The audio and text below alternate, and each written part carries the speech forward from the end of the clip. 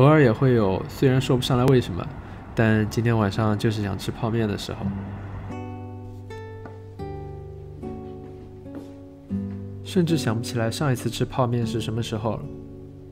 自从几年前得了次胃病之后，泡面这一类速食品好像是很少会吃了。所以这次也不是泡面啊，是煮泡面。那今天准备做的是番茄牛肉面，也准备了一些菌菇和娃娃菜当做辅料。在我看来，娃娃菜绝对是一切泡面和火锅的灵魂。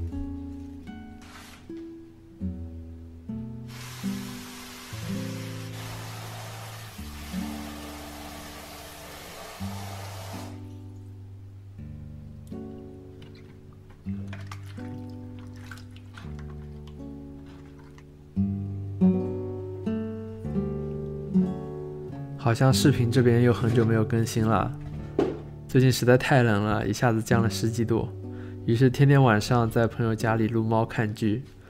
我发现天气对人的行动力影响还蛮大的。如果说秋天的时候是每天睡四五个小时就自然醒的话，那冬天好像就是把秋天所有的觉都给补上了。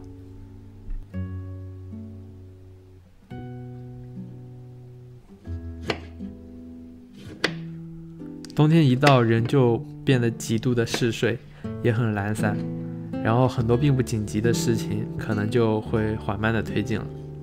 比如说之前答应大家做的一个关于自由职业办公地点的分享，也一直没有做。啊，因为天气变冷之后，分享欲就变得很低。那当然，即便没有分享欲的话，我也可以写个稿子，把东西给写出来。但是总觉得那样的东西好像并不是发自内心的一个分享。就它会缺少一些我的独特感受，可能这样的东西看起来也会很乏味吧，所以就不会没有东西说硬说。那前段时间有朋友私信问我说，他感觉最近做什么事情都没有状态，然后问我怎么办。其实这种问题真的很难回答，因为我最近也在这种状态里面，而且通常我对这种状态也没有什么太好的办法。毕竟，如果是工作的话，你可能会有一套固定的流程去一步一步的推进项目；但如果是个人作品的话，在你没有好到一定的程度之前，你是不应该按照某种固定的模式去出作品的啊，因为那样就意味着你放弃了进步。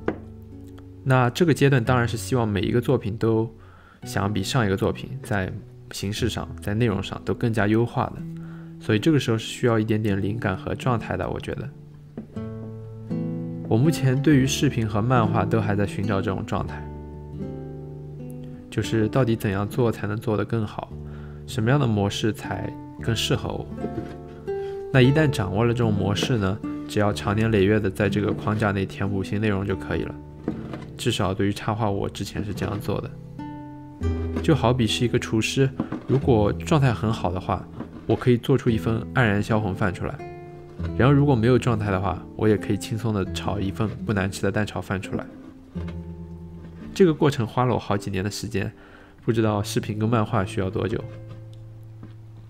但是不管怎么样，慢慢来呗。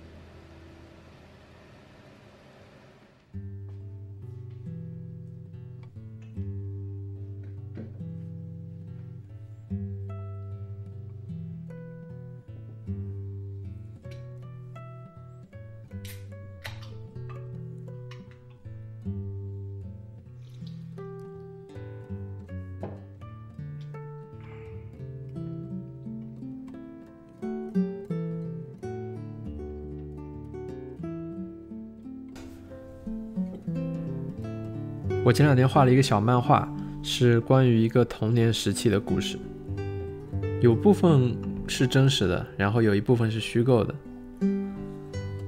因为偶尔也会想画一些没有情绪展现，或者说没有观点输出的东西嘛。那这篇漫画其实就只是描绘了一个有一点孤独的人的童年时代，然后他可能有一点点恋物癖的人设，他把石头、把棋盘什么的都拟人化了。但是漫画本身其实是没有明确的价值导向的，甚至没有情绪导向。除了一个极具反差感的标题，就是 The Best Friends，啊，我最好的朋友。我觉得不同的人看完应该会有不一样的感受吧。其实漫画在画到百分之八十的时候，我是有想过直接放弃这篇漫画的，因为它并不是那么直接的传递一些东西。我觉得大多数人应该是 get 不到我想表达的东西的，但最后的结果让我很意外。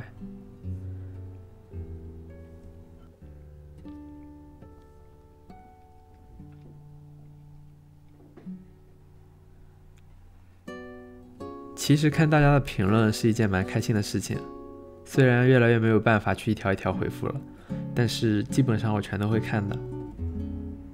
然后在这个过程中，你会发现别人对你的作品的解读是什么样的。我之前听过一个故事，好像是说有一个学生拿着阅读理解的标准答案去给作者看，然后作者说我没有这个意思。其实我现在偶尔也会有这种感觉。不过，确实，作者也不可能知道标准答案吧？因为一个作品创作出来之后，它是可以被解读的，所以其实如果解读出作者也不知道的答案，那也并不是一个很意外的事情。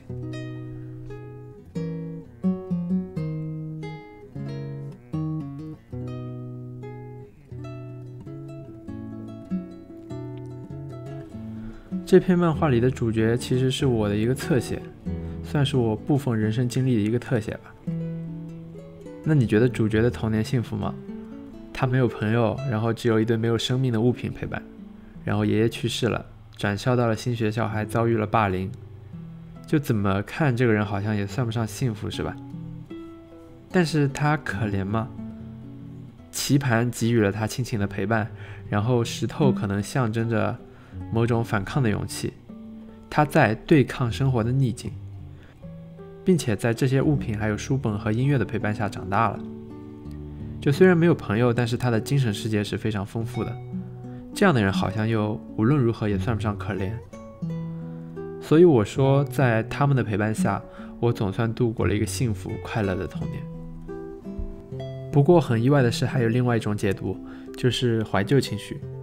这个是我完全没有想到的，因为我觉得所谓的陪伴物品。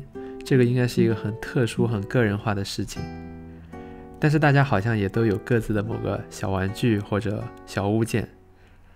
这件事情让我非常意外，同时也觉得很有趣，就是原来我这样的人其实还挺多的。